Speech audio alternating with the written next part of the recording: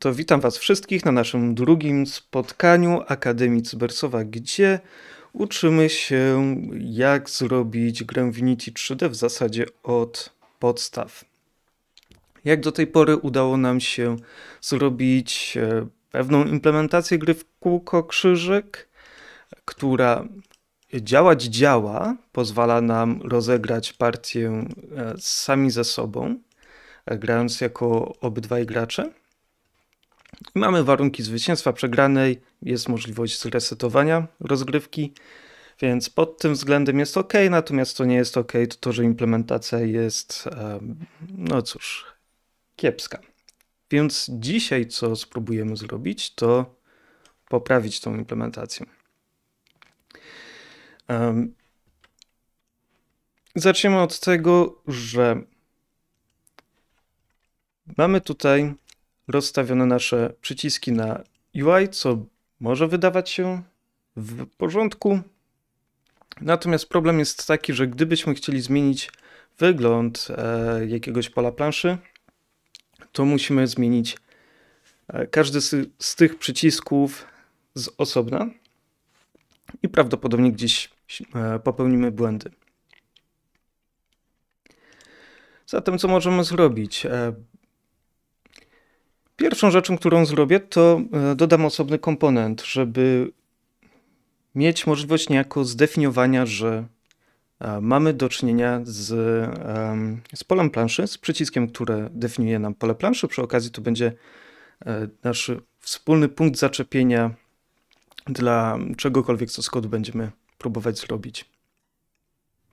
Więc klikam prawym przyciskiem Create C Sharp Script. Jak to nazwać? Może być board cell może być inaczej. Na razie zostanę przy board cell. Na dobrą sprawę w tym momencie jeszcze nie potrzebuję, żeby tutaj coś dodawać, więc tutaj po prostu myk. Chowam z powrotem Ridera tutaj do pierwszego przycisku. Przeciągnę to nasze board cell i mamy dodane. Teraz tak, nasze przyciski są rozstawione co 300 punktów. To jest coś, co e, będziemy chcieli tutaj zapamiętać. Pierwszy przycisk nam wystarczy.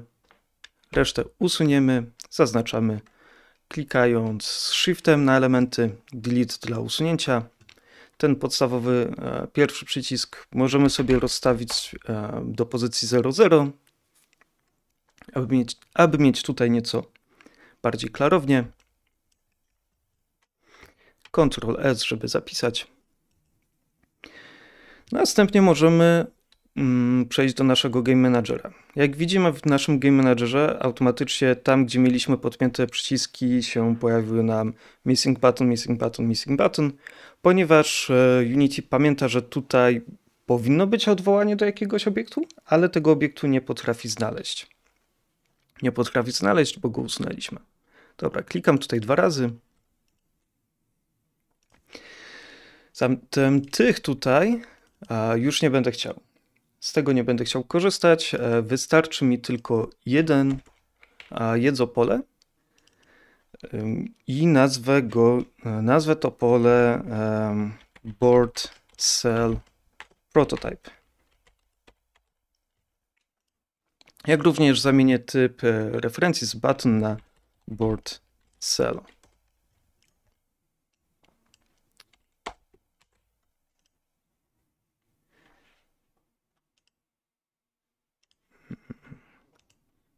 Sekundę. Dobra. E, zatem idziemy po kolei. Tutaj co widzimy? E, w instrukcji start wcześniej przypisywaliśmy zdarzenie. To tym e, na razie nie będziemy się przejmować, w sensie to będzie nasz następny krok. Ctrl slash, żeby zakomentować to wszystko. Za chwilę usuniemy te komentarze, na razie niech nam to działa po prostu jako przypominajka, co musimy przepisać. To, co potrzebujemy zrobić, to potrzebujemy utworzyć de facto kopię e, tego naszego prototypu, tak żeby zapełnić całą planszę. Więc tutaj przyda nam się tablica dwuwymiarowa naszych board cell. Nazwijmy to board cells. Okay. I podobnie jak wcześniej, dla po prostu um, naszych danych odwołujących się do logiki gry, logiki gry e, tworzyliśmy e, tablicę dwuwymiarową, to teraz utworzymy sobie tablicę dwuwymiarową na nasze referencje na przyciski. I dla każdego elementu tej tablicy chcemy utworzyć kopię naszego prototypu. Więc tutaj idziemy e, board cells get length 0 ze względu na to, że to jest tablica wielowymiarowa, to mamy um, tutaj taką metodę jak get length z możliwością podania, o który wymiar nam chodzi. Ponownie for, enter, tab, tab, a tylko mi się zezło.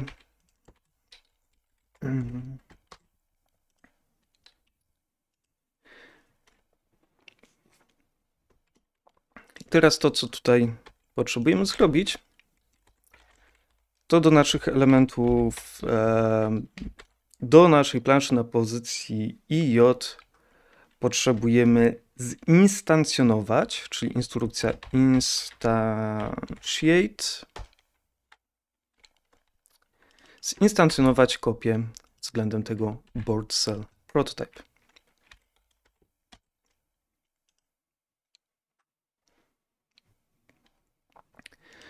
Tutaj jeszcze zakomentuję trochę kodu, tak żeby nam się to skompilowało, ponieważ chcę po prostu pokazać efekt naszych zmian.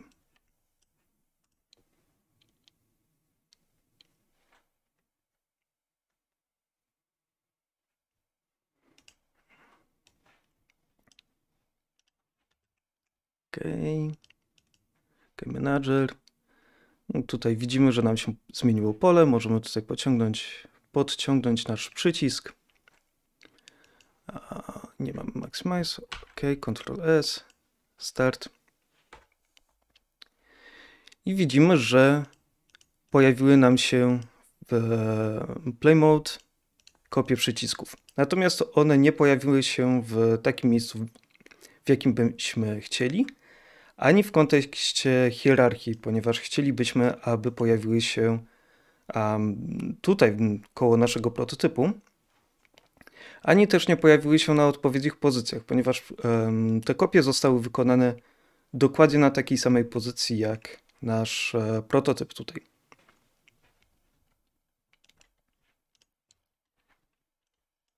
To na razie będziemy poprawiać to e, z palucha. Tutaj przy instrukcji Instantiate e, mamy możliwość dodania mm, dodatkowych parametrów. Między innymi mamy opcję, e, aby podać tak zwanego parenta. Czyli tutaj jest prosto. Bierzemy z naszego prototypu transform parent i w ten oto sposób, jak teraz um, uruchomimy naszą grę, to widzimy, że przy tworzeniu kopii przycisków e, parent jest brany taki sam jak z oryginalnego, czyli pod tym węzłem się pojawiał. Dalej, pozycja. Jeżeli chodzi o pozycję przy UI, um, zawsze jest to e, Zawsze, zawsze mam problem z zapamiętaniem niektórych kruczków, e, jeżeli chodzi o pracę z UI i robieniem czegoś dynamicznie, e, więc e, troszeczkę Będę tutaj, będę tutaj robił na czuja, potencjalnie robiąc parę pomyłek, ale możemy wziąć sobie, um, właściwie to możemy o, tutaj dać wektor 3, spawn position, podstawowa pozycja, gdzie chcemy, aby nasz nowy przycisk zespawnował, będzie e, względem pozycji naszego przycisku prototypu.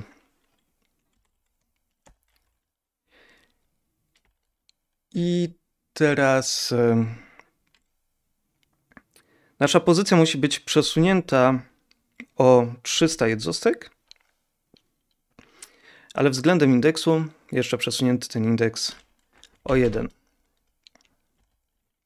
E, więc tutaj niech będzie o new vector i tutaj 300, 300, a właściwie to 300 razy. I pytanie, czy powinno być najpierw i czy j, czy idziemy kolumnami, czy wierszami. To też jest coś takiego, co zawsze gdzieś tak nie mam w swojej wyobraźni, jak to.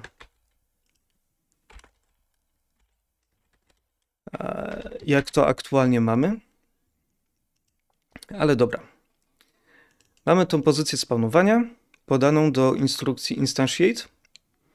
Trzeci parametr, quaternion identity, podaję dlatego, że mm, to przeładowanie metody wymaga E, od nas to, żebyśmy podali również rotację.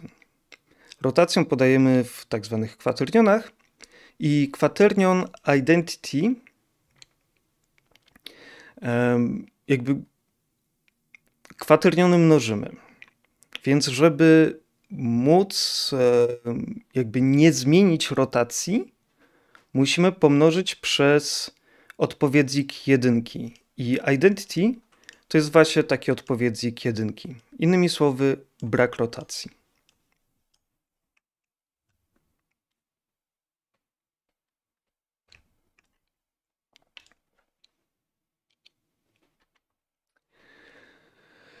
I coś zadziałało, tylko Pewnie jest problem jeszcze z. E, mamy tutaj skalę, tak. Kwestia skali.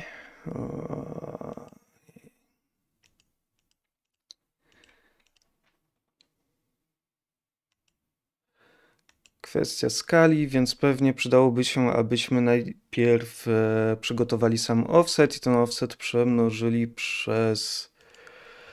Um, przez transformację naszego parenta tutaj. E, bardzo na opak to robię, ale niech będzie. Co dodamy? Spawn, offset.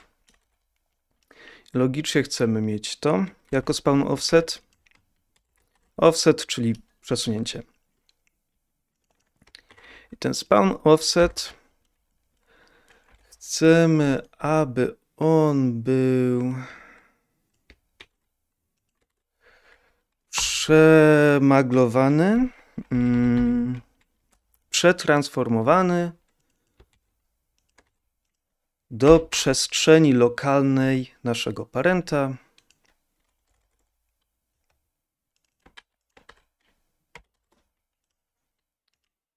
No i teraz dodamy do spawn position.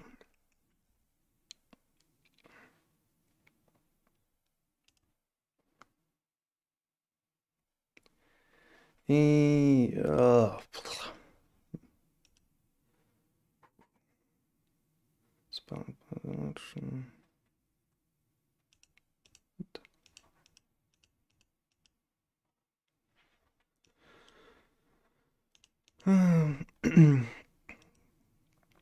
Jak to ostatnio zaznaczyłem, lekcje są improwizowane i co ja tutaj odwaliłem?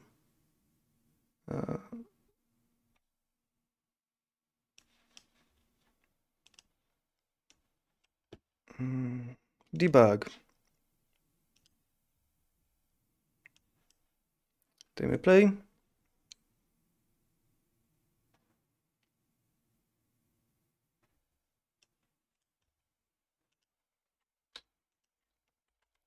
Spawn offset, czyli minus 300, minus 300 chcemy prze, e, przerzucić do mm, lokalnej przestrzeni i uzyskujemy 700 coś na 150. Hmm.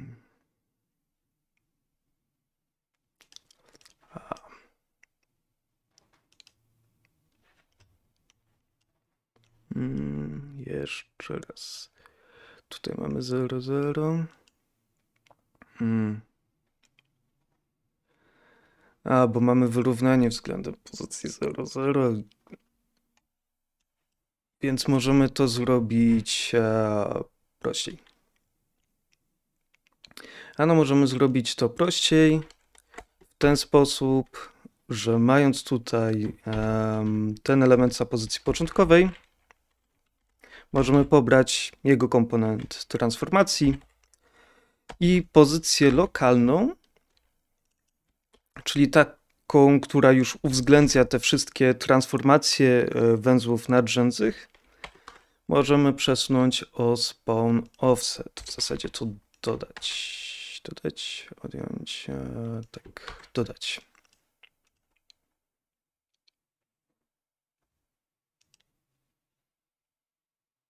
No. Jest prościej. Gdyby to nie było UI, e, to poprzednia metoda by zadziałała, ale tutaj jeszcze musimy uwzględnić tak zwany anchor, więc szkoda zachodu po prostu. Na koniec po tym wszystkim to sobie jeszcze ukryjemy nasze e, board prototype z game object set active false i dzięki temu nie będziemy mieli zduplikowanego przycisku po środku. Dobra, ale mając to, to nasza logika jeszcze nie będzie działać. Więc co możemy zrobić? No mając dalej to e, nasze board cell, możemy odwołać się poprzez get component in children do komponentu button i w tym momencie e, zrobić rzecz analogiczną, jak robiliśmy tutaj, podając e, właśnie parametry i jako wierszy kolumnę.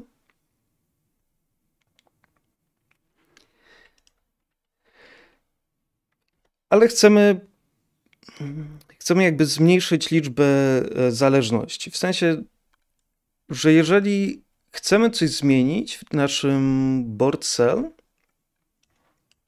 to chcemy tak to zrobić, żeby później e, cały kod dookoła, który korzysta z naszego board cell, e, nie musiał być aktualizowany mm, jakby wszyscy użytkownicy tej klasy nie chcemy, aby musiały być zaktualizowane w momencie, gdy ten nasz przycisk się zmieni. E, powinniśmy mieć możliwość zmienienia zarówno do pewnego stopnia implementacji, jak i samego elementu tutaj, tak żeby nie móc przepisywać całej reszty kodu. Więc co tutaj zrobię w board cell? To przede wszystkim wywalę te funkcje start i update, bo nie są nam tutaj do niczego potrzebne. Dodam publiczną metodę, którą nazwę init. I ta metoda init będzie przyjmować właśnie parametry row oraz column. I tutaj też dodam pola typu integer, czyli e, liczby całkowite. Row, column, row, row, column, column.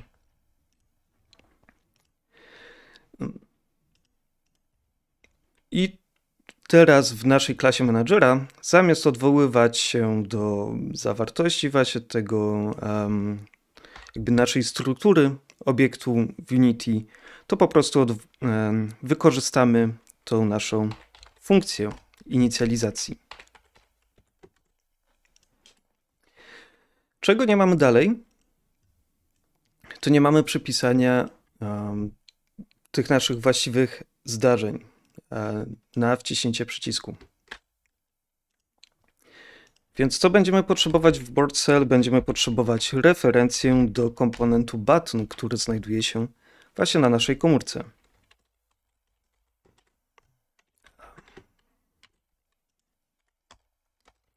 I teraz do tego komponentu button e, możemy do niego właśnie dodać e, metodę, która będzie wywołana po, e, przy zdarzeniu kliknięcia.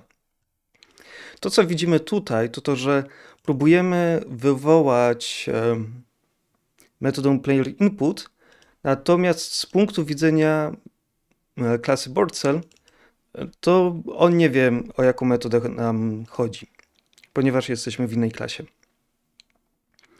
Teraz zrobimy to e, bardzo łopatologicznie, to znaczy dodamy do naszego board cell referencję do game logic.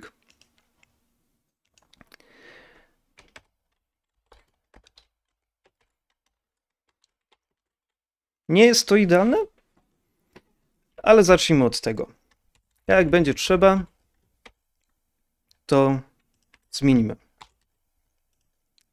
To zmienimy, to poprawimy.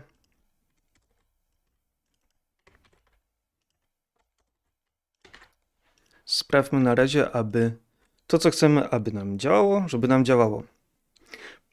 Jak widzimy, nasza metoda player input do tej pory była jako, jako prywatna, co było ok, ponieważ wywoływaliśmy ją tylko w ramach e, klasy GameLogic, natomiast teraz chcemy z niej korzystać również na zewnątrz, e, więc zmieniamy tutaj zakres widoczności na publiczny.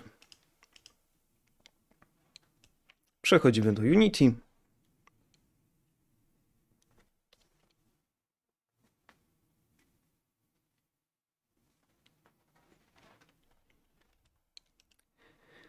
Tak, jak mamy tutaj nasz przycisk, nasz prototyp,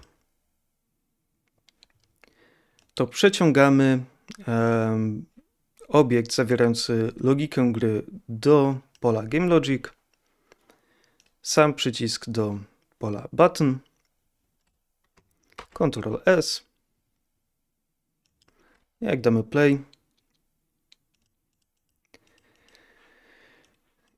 jak damy play i jeszcze damy sobie um, breakpoint tutaj, to debugger powinien nam wyłapać, że faktycznie wchodzimy do tej metody.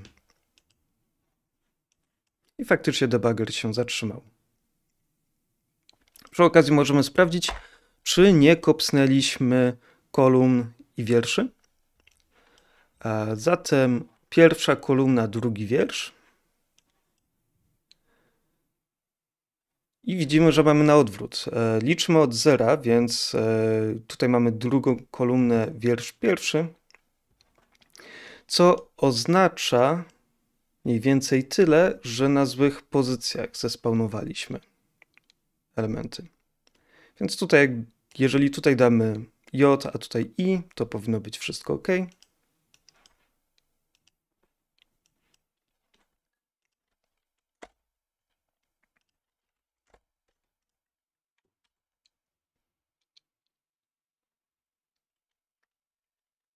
Dobra.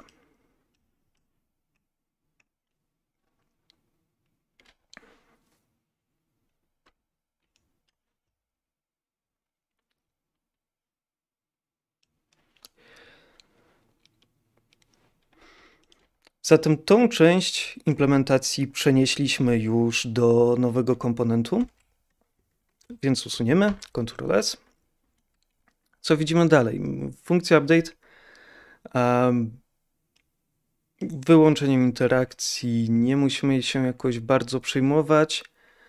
To, co widzimy, to, że nie aktualizujemy widoku, a dokładniej nie aktualizujemy tekstu, który się na naszych przyciskach wyświetla. Zatem ponownie, e, zamiast odwoływać się w ten sposób do komponentu, to nasz board cell może przechowywać referencję do komponentu tekst.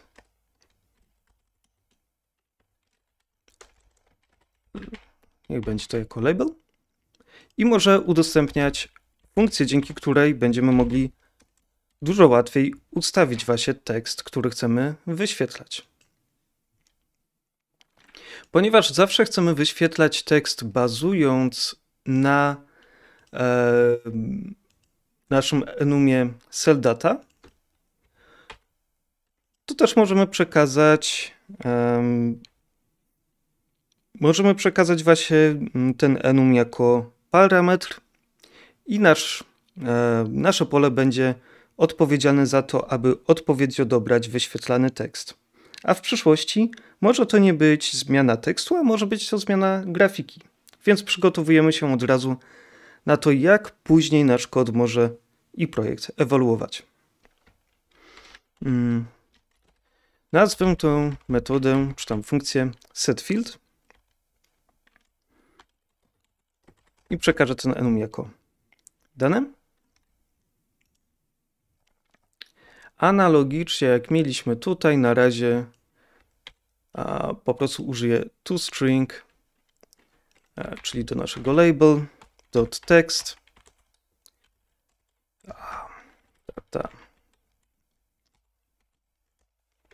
Przesłam e, cell to string i w ten sposób skonwertuje nam jedną z tych um, wartości na po prostu ciąg znaków, na, na tekst. I teraz ten set field potrzebujemy wykorzystać naszym update view e, aktualizacji widoku. I ze względu na to, że sposób, w jaki przechowujemy dane logiczne o naszej planszy oraz dane widoku e, jest analogiczny, to łatwiej też nam będzie iterować po tym wszystkim. Nawet możemy sobie tutaj po prostu skopiować te dwie pętle. Z tym, że zmienię tutaj po prostu na mboard. Tutaj mboard cells czy tam views, mogłoby to również być. Nieważne teraz. E, set field i przekazuję z mboard ponownie i j. Natomiast tą część wyrzucam.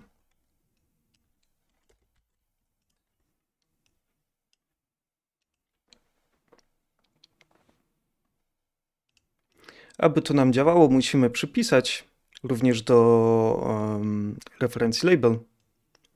A właściwie nie to, tylko o ten komponent tekst. Standardowo Ctrl S. Odpalamy i patrzymy, jak to nam działa.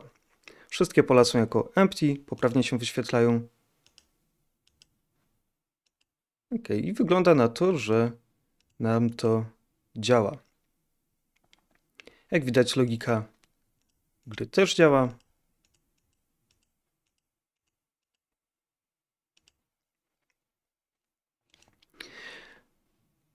Chyba ostatniej funkcjonalności, jakiej nie mamy zaimplementowanej, co mieliśmy wcześniej, to to, że nadal możemy klikać po tych polach. Nic tam nic e, nam to nie zmienia z tego powodu, że mamy zabezpieczenie od strony logiki tutaj w kodzie. Natomiast dla użytkownika będzie to bardziej jasne i klarowne, jeżeli faktycznie wyłączymy interakcję na przycisku. Wcześniej robiliśmy to tutaj po prostu w funkcji update co klatkę.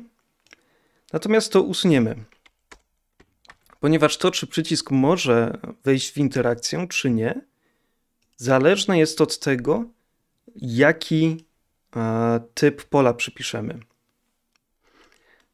Oznacza to, że nasz komponent button może mieć e, flagę interactable ustawioną na true, na aktywne, tylko i tylko wtedy, gdy data równa się cell data empty.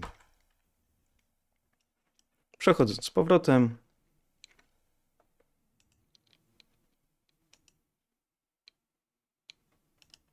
I widzimy, że przycisk został zdeaktywowany.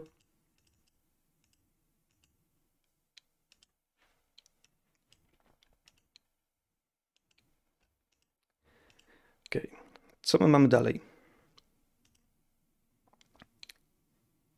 Wygląda na to, że od strony planszy to jest wszystko, co na teraz potrzebujemy. Ale nadal widzimy tutaj w naszej funkcji update dla logiki gry, że przede wszystkim e, to, że sprawdzamy co klatkę, czy e, rozgrywka została zakończona, to jest jedna rzecz.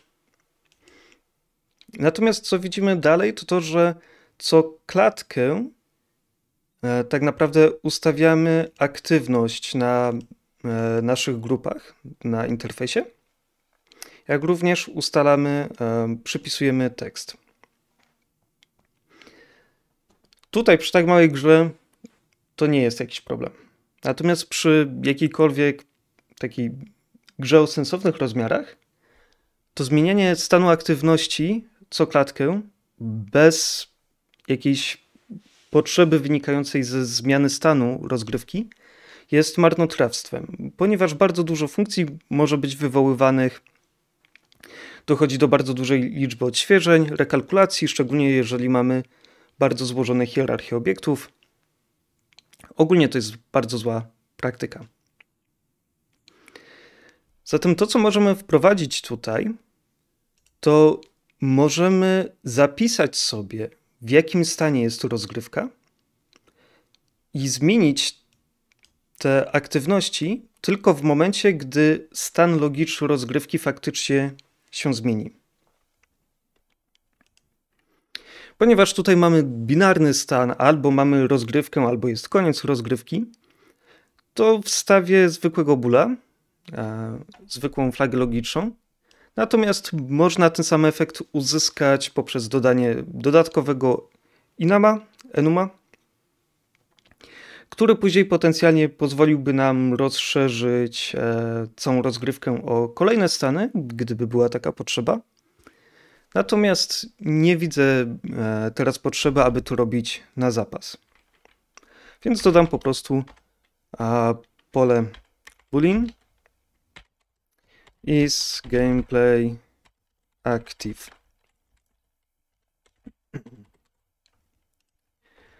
Nie ma potrzeby, abyśmy tutaj inicjowali to, bo i tak e, zrobimy to w naszej funkcji start.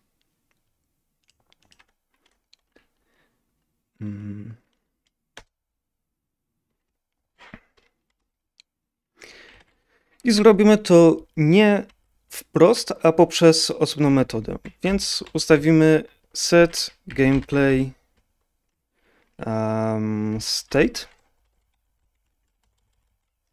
alt enter create method i tutaj po pierwsze właśnie zmienimy stanu rozgrywki, flagę stanu rozgrywki na aktywną. A poza tym a potrzebujemy zrobić to, co widzimy tutaj. W momencie, gdy rozgrywka staje się aktywna, to chcemy zdeaktywować Game Finished Group. Analogicznie dodamy sobie od razu metodę set finished e, set game finished state.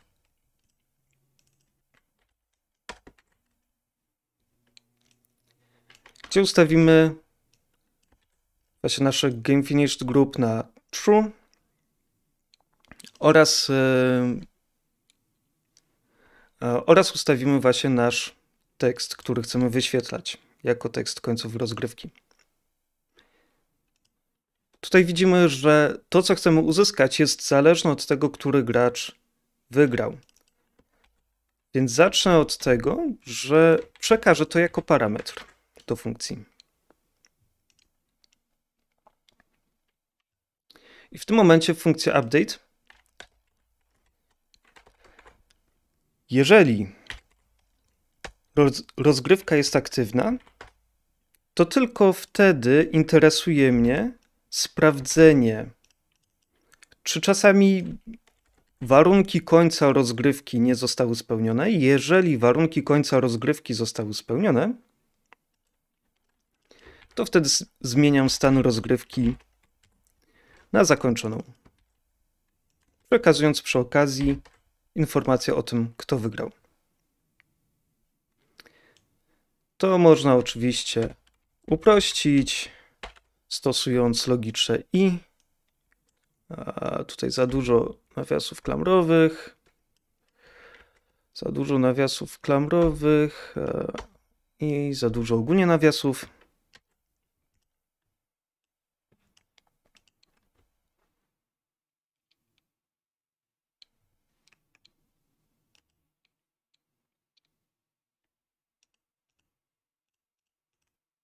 Jak widzimy, nasza gra działa dalej.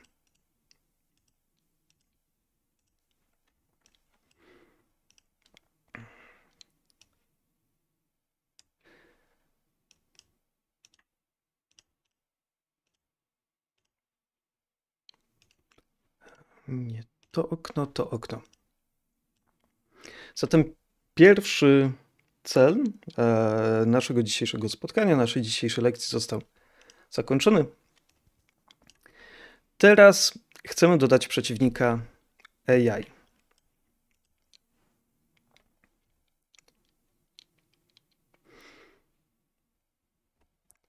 Skoro chcemy dodać przeciwnika AI, to potrzebujemy rozróżnić to, czy w danym momencie gra um, Właśnie, który gracz gra, czy ten gracz jest um, człowiekiem, czy nie. Co w, w pierwszym kroku założymy sobie po prostu, że gracz drugi jest e, graczem AI. Dopiero później będziemy rozwijać ten kod tak, żebyśmy mogli tym dowolnie żonglować, żebyśmy mogli dowolnie zmieniać, czy mamy dwóch graczy e, komputerowych, czy dwóch graczy ludzkich, którym, e, czy gracz komputerowy jest pierwszy, czy drugi i tak dalej. Zacznijmy od tego, żeby w ogóle jakiekolwiek AI nam zadziałało. I to nie będzie spryce AI, zrobimy po prostu wybór losowy. Hmm. Zatem tak, w naszej funkcji update, w, w momencie, gdy jest aktywna rozgrywka, potrzebujemy tutaj dodać niejako pod tą flagą, jeżeli rozgrywka jest aktywna, to wtedy sprawdź, e, czy obecny, obecny ruch ma E, gracz X. I jeżeli gracz X ma teraz ruch, no to wykonaj e, funkcję dla AI. Oczywiście to nam duplikuje e, to sprawdzenie, pomijając to, że jak już to trzeba by było to zrobić w odwrotnej kolejności, ponieważ tutaj mamy w ogóle sprawdzenie, czy gra została zakończona. Więc sobie to też przeniesiemy do osobnej funkcji. Jeżeli rozgrywka jest aktywna, to dodamy funkcję update gameplay state. Alt Enter.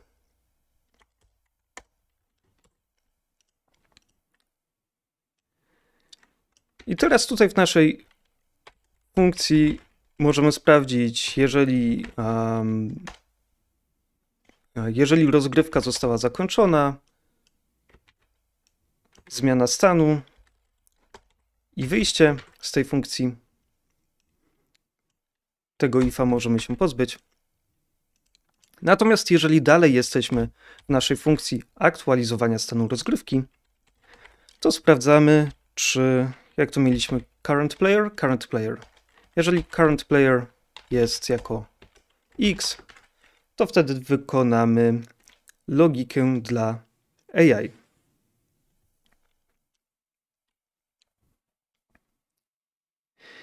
Jeżeli chcemy, aby nasze AI wykonało ruch losowy, to pierwsze, co potrzebujemy się dowiedzieć, to z których pól w ogóle możemy skorzystać. Ponieważ jest to mała gra, stan rozgrywki jest mały, to możemy po prostu prześledzić wszystkie możliwości, czyli z naszego board, tutaj, a gdzie to było, update gameplay state, z naszego board będziemy wyglądać, wyciągać wszystkie puste pola. Więc potrzebujemy zbudować listę cell, właściwie nie cell data, bo to nie potrzebujemy cell data, tylko potrzebujemy indeksy naszych pól. E, więc robimy e, listę vector 2, ale int, bo nie, nie zależy nam na liczbach zmiennoprzecinkowych, a na liczbach e, całkowitych, dlatego vector 2 int. Mm, possible try sys.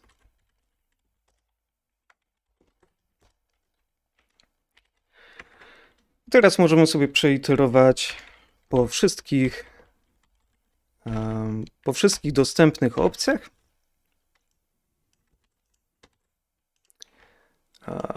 Shift Alt, żeby skorzystać z multikursora. I będąc tutaj, jeżeli mboard na pozycji IJ równa się empty, to oznacza, że możemy dodać do naszych potencjalnych wyborów pozycję właśnie IJ. Gdy już mamy wszystkie, to czy było coś takiego jak shuffle? Wydaje mi się, że biblioteka linku miała funkcję shuffle dla, dla list.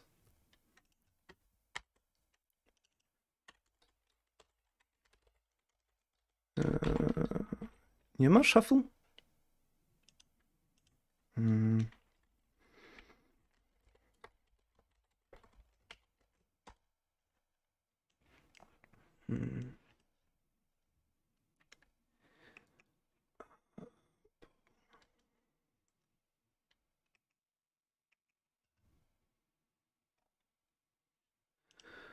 Um trzeba było chyba skorzystać z order by i, e, i po prostu e, podać, podać wartości z losowego. To chyba tak najczęściej się bawili. Hmm? Yep. Order by i dla każdego elementu, bo order by um, jakby próbuje poukładać w kolejności uh, względem um, jakby wartości, którą podajemy. Więc jeżeli podamy e, losową wartość, to uzyskamy losową kolejność.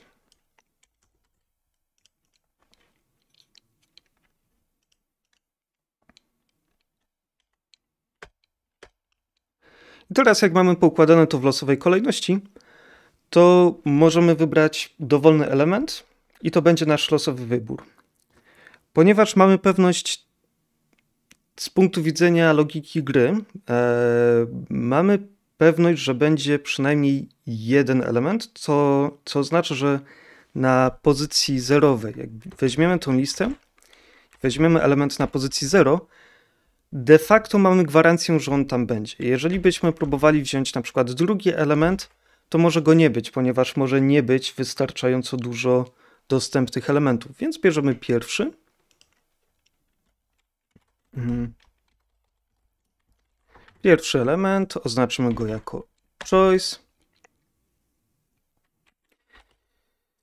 Um, I wywołamy funkcję player input dla naszego właśnie wyboru. Ze względu na to, że to jest e, struktura vektor 2, no to e, jej elementy są nazwane x i y.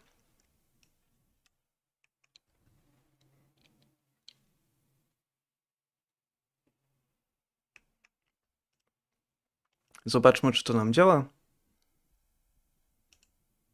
Jak widzimy, każde nasze kliknięcie um, powoduje automatyczną i natychmiastową reakcję sztucznej inteligencji. Inteligencji. Natomiast nasze, nasz wybór losowy tak trochę mało losowo działa.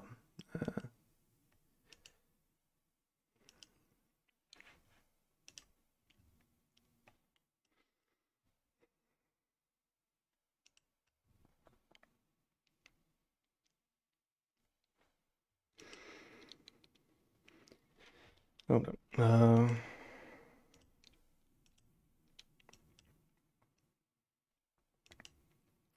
pytanie. Czy na tym etapie bawić się w debugowanie naszego, naszej wartości losowej, która wychodzi na to, że nie jest za bardzo losowa?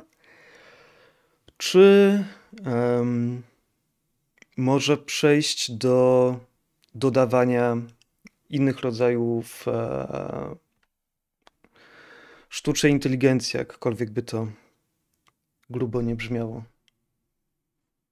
Możecie na czacie pisać, jeżeli mikrofonu nie macie.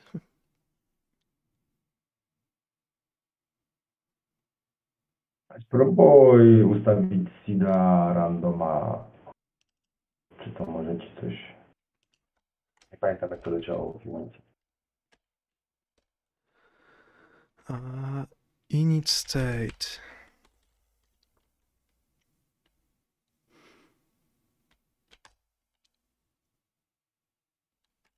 Mm, okay. Uh, date time. Uh, now seconds.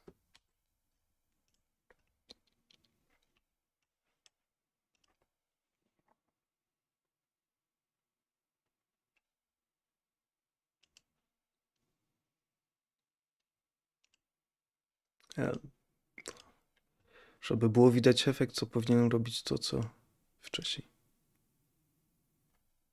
E?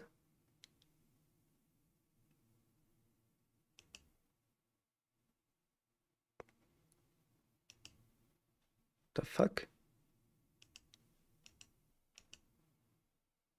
Obstawiałbym, że przy każdym wywołaniu będzie miał innego seeda, Chyba ten order nie działa coś. Mm. Order by. Order by C sharp. Co, o co on tam prosił? On prosił chyba o minus jeden albo jeden, tak? Jeżeli on prosił o minus jeden albo jeden. Był sorter, a nie wiem czy order działa tak samo. Jeszcze raz sorter? Czy sort? E, No, sort, sortowanie zwykłe, tak, nie wiem, bo to chyba jest to samo, ale nie jestem, o, sort. I powinien sort także przyjmować predykata? O, i teraz, teraz się czepia, ponieważ on oczekuje, wydaje mi się, że on oczekuje. Hmm, e, E, Minus 1, 1. Albo 0. Po co tam? Minus 1,1 to było? Chyba tak, albo 0,1, nie pamiętam czy on był jednostronny czy dwustronny, bo jak będziesz miał minus 1,1 to chyba możesz wpaść w nieskończoną pętlę. Ale nie jestem pewien. Jeszcze raz, przy czym? Pętlę? Pętlę? E, no bo jeżeli sortujesz predykatem i predykatem wybierasz, czy element jest mniejszy, czy większy, co nie? No. To może być tak, że więc będziesz miał dwa elementy i one będą się na zmiany zamieniać. A nie wiem, czy to jest zabezpieczone przed tym. Po prostu nie mam pojęcia. Natomiast możemy spróbować. Szczęśliwie to jest bardzo mała pula elementów, więc e, nie zdziwiłbym się, gdybyś miał rację i że to nie jest zabezpieczone, ale e, ale możemy poudawać, że jest w porządku, bo mamy na tyle mało elementów, że jest mała szansa na to, że wpadniemy w tą pętlę.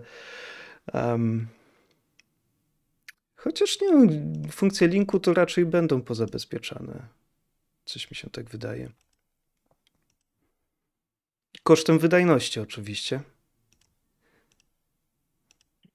Wygląda jakby działało.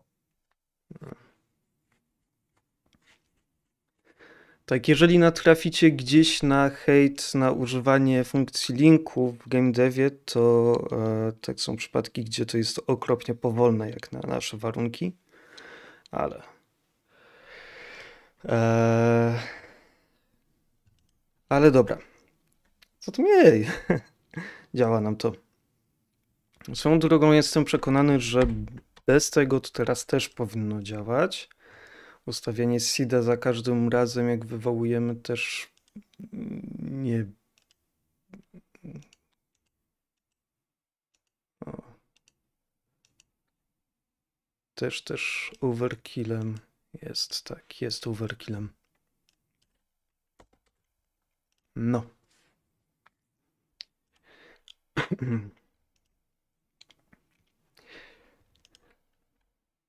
Mm, dobra, to co możemy tutaj zrobić, to zaznaczyć sobie to wszystko. I teraz, czy dobrze pamiętam skrót? Czy to było Ctrl Shift R?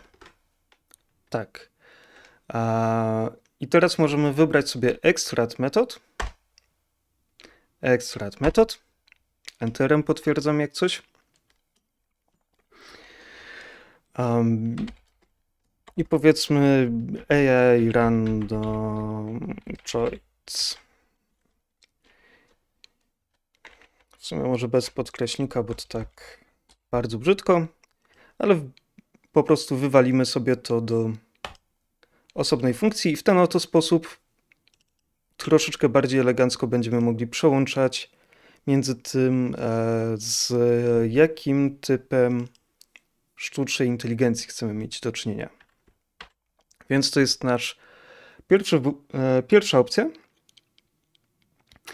Druga opcja, e, jaką możemy tutaj mieć, to jakiś. E, możemy zastosować jakąś bardzo prostacką strategię po prostu atakowania e, środka rogów. Najpierw środka, później rogów, później pozostałych. Więc tutaj już pójdę z tym, że utworzę nową metodę. Hmm. Nazwę to Optimal Strategy. Nasze Optimal Strategy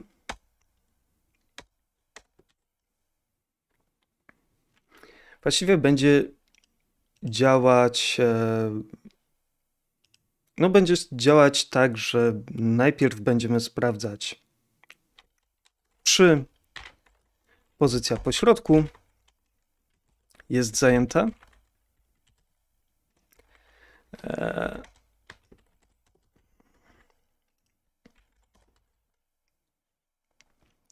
jeżeli tak, to wybieramy element pośrodku, return. Jeżeli pośr e, pozycja pośrodku um, jest zajęta, to podobnie sobie zbudujemy. Hmm, czy po prostu przeskakiwać.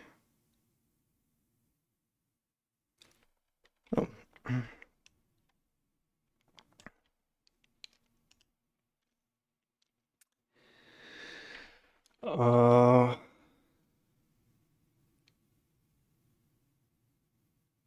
Dobra, już wiem jak to zrobimy.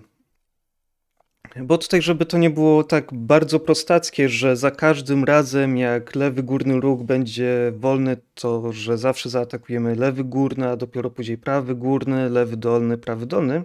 Fajnie by było też skorzystać właśnie z e, randomizera. Zatem to, co de facto będziemy robić, to wywołamy tą część kodu, ale nie dla wszystkich pól, tylko po prostu pozbieramy pola z rogów. Więc tutaj też sobie zaznaczę to. Ctrl Shift R, extract method, extract. Um, choose random input. Choose random input i po parametrze będziemy widzieć, że przekazujemy e, dozwolone wybory jako listę. OK.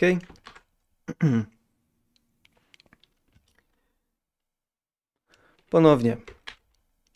Tutaj będziemy potrzebować właśnie listę na, na wybory, które mamy.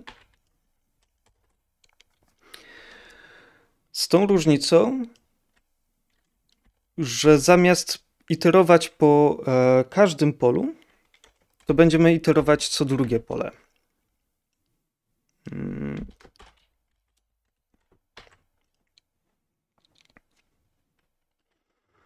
Hmm. I kolejną rzeczą, którą mamy, to brak pewności, czy w ogóle jakieś pola były wolne. Czyli sprawdzamy, czy jakiekolwiek pola były wolne. E, jeżeli jakieś było, to wybieramy losowe i mamy pewność tutaj, że jakieś losowe pole zostało wybrane. Natomiast jak przejdziemy przez środek i rogi, to to, co nam zostaje, e, utworzy nam de facto identyczną logikę jak przy wyborze całkowicie losowym. Z tą różnicą, że wiemy, iż część, wiemy, które pola już są na pewno zajęte. Więc gdybyśmy potrzebowali to zoptymalizować, to byśmy zoptymalizowali, żeby nie iterować przez wszystkie pola. Tutaj mamy 9 pór, więc nie będę się tym przejmował.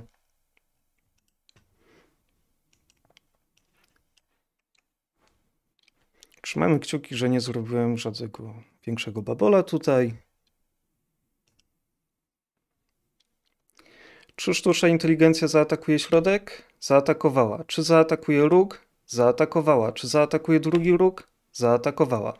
No i sztuczna inteligencja wygrała.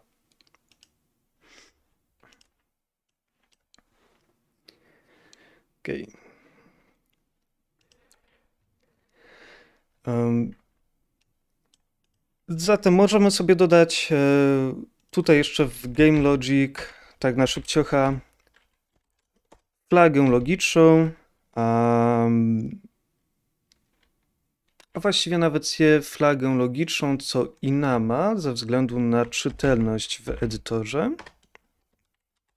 Nazwijmy go AI Strategy. A, to ma być enum. Mamy strategie, jakie mamy dostępne, to random i optimal.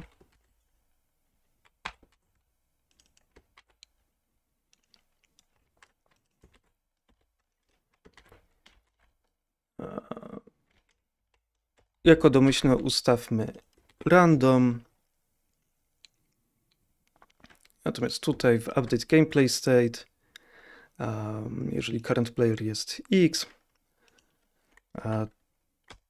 to używamy? Switch, sprawdzamy po AI strategy, case. Jeżeli random, to AI random choice, break, case, AI strategy optimal, AI optimal strategy, break. Możemy też na przyszłość sobie dodać jako default na przykład random na wypadek jakbyś, jakbyśmy dodali kolejne pozycje do Inuma, ale jeszcze nie zaimplementowali dodatkowych strategii, to żeby nam aplikacja wykonała cokolwiek, możemy dać jako defaulta random choice. Powinno nam to um, odpowiednio zadziałać. I teraz jak wejdziemy do Game Managera, widzimy, że możemy wybrać to AI Strategy, możemy przełączać między random i optimal, co możemy właśnie zweryfikować. Teraz jak mamy random, to widzimy, że AI nie atakuje nam środka i rogów. Jak przełączymy na optimal i damy play, to widzimy, że atakuje nam zarówno środek, jak i rogi.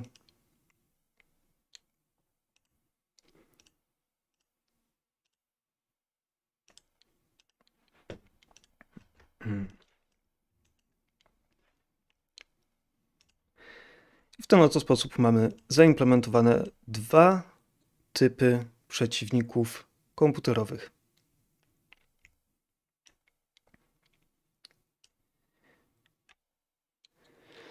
Teraz tak. Możemy się bawić w rozwijanie tego na przykład w możliwość e, ustawienia, czy, przeci, czy e, gracz pierwszy jest graczem komputerowym, czy e, graczem ludzkim. To samo dla dru drugiego. I możemy jeszcze tutaj chwilę posiedzieć, właśnie komplikując w ten sposób e, projekt. Albo możemy na dzisiaj zakończyć ten etap i przejść do ewentualnych pytań.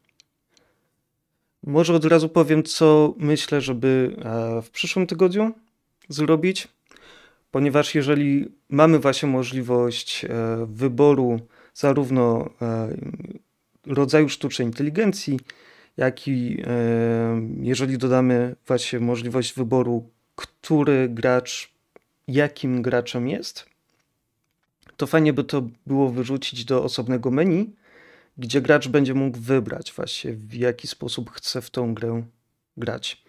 Co będzie również oznaczać, e, że dodamy sobie dodatkową scenę, aby zobaczyć jak nam e, gra właśnie działa na kilku scenach, a nie na jednej.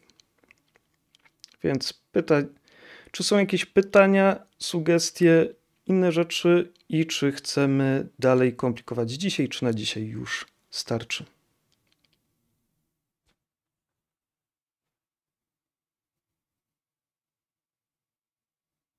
Brak opinii. E, dobra. Żwawo. Słucham? Żwawo. Żwawo? No, że żywo. Że wszyscy mają opinię. Nie, kończ pan, bać pan, bo tu można, wiesz, dłubać ile się po prostu chce. No, racja. I tak mamy ponad godzinę już, więc w sumie chyba na dzisiaj starczy. To Ostatnie liczę do pięciu, jeżeli są pytania albo sugestie i kończę. Raz, dwa. O, coś było? Trzy, cztery. Nie, chyba brak tych pytań. Dobra, ok, to kończymy na dzisiaj. Dziękuję Wam bardzo za dzisiejsze spotkanie.